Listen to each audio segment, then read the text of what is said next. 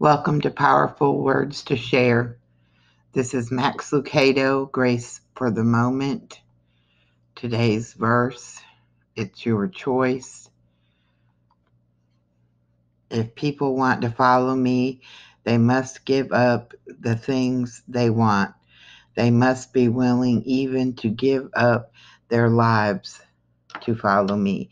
Mark 8 34.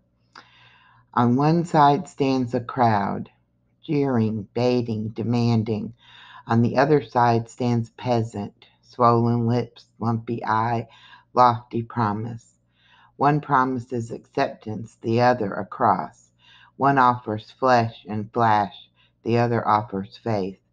The crowd challenges, follow us and fit in.